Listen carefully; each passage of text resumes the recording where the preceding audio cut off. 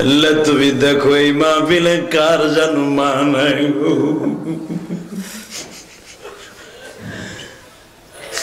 এই মাহফিলে কার জানো বাবা নাই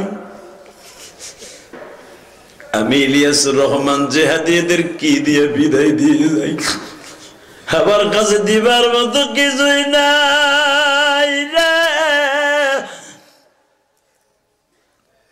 আল্লাহ, তুমি একটা জিনিস দেখো। আমাদের অ্যাকাউন্টে কত গুণা আছে ওদিকে দেখো না।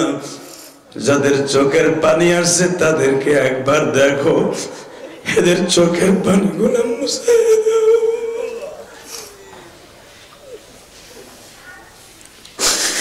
আল্লাহ, এদের মা বাবাকে তুমি বাপ করে দাও।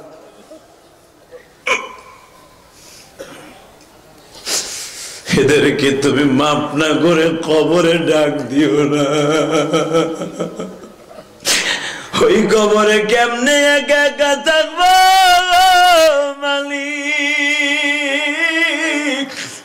যেখানে মানাই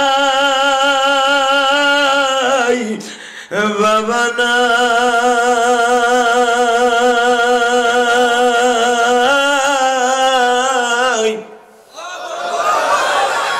দুনিয়ায় যদি আমারে পুলিশ অ্যারেস্ট করে, চেয়ারম্যান সব দৌড়ে যে বলবে, আমার এলাকার মানুষ সাইরে দেন, স্যার। আমার পারমিশন ছাড়া ওর গায়ে একটা বাড়ি দিবেন না। চেয়ারম্যান কাছে না থাকলে মা দৌড়াইয়া যায়, মা না থাকলে মেম্বার দৌড়াইয়া যায় রে। কবরে যদি মায়ের শুরু হয়ে যায়, বাবা। ওইখানের মায়ের ফিরাইবার মতো কেউ নাই। ওই কবরে কে কে তোমার দেখবে দেখার মতো কেউ নাই। আমি আজও বলতে বলতে পারি না। যুবক রে, এই বারো বছর বয়সে তোমার এই বন্ধু মারাই যে, মার কবরে কাজ দিয়ে কতবার হাঁটলাম জানি না। আমার মা কবরে কেমন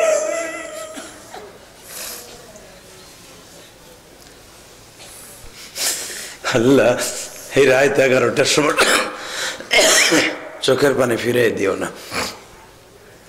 এই ক্যামেরাম্যানগুলা সারা দুনিয়ায় পৌঁছে দিবি এই গুণাগারদের চোখের পানিগুলি।